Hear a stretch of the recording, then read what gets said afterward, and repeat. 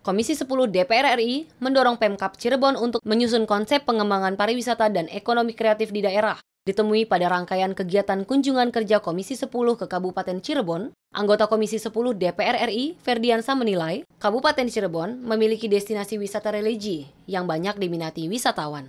Ferdiansa melihat, potensi destinasi wisata religi itu masih perlu dikembangkan dan disempurnakan untuk meningkatkan minat wisatawan serta mendorong roda perekonomian masyarakat setempat.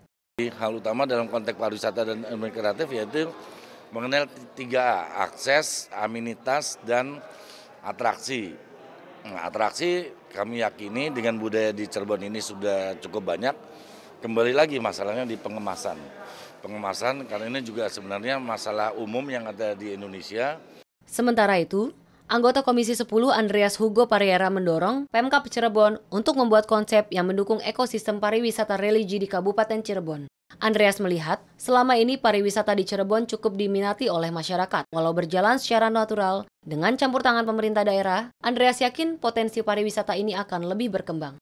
Karena ini kan daerah apa interchange ya, daerah pertemuan dari berbagai macam uh, penjuru uh, kabupaten, kota yang melewati wilayah ini gitu. Sehingga sebenarnya ini sangat strategis untuk pengembangan pariwisata dan ekonomi kreatif.